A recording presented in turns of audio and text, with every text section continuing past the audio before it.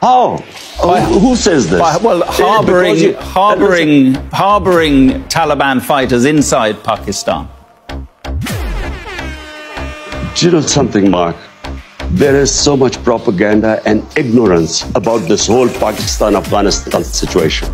Pakistan lost 80,000 people. No country which supported the US in the war on terror gives as many sacrifices as we did. The only reason we lost 80,000 people was because we joined the US war on terror.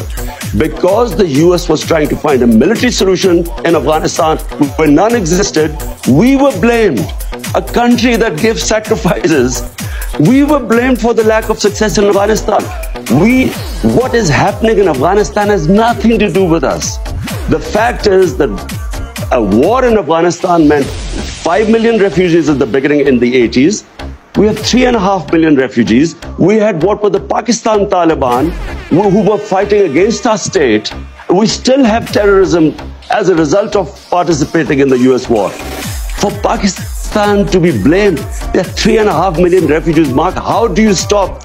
How do we know who is uh, who would go across and and and, uh, and be with the Taliban? How? Right. So Pakistan fenced first time we fenced our border. There was open border before.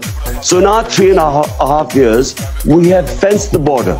But please do not blame Pakistan. Pakistan is the collateral damage of Afghanistan. Okay, just finally,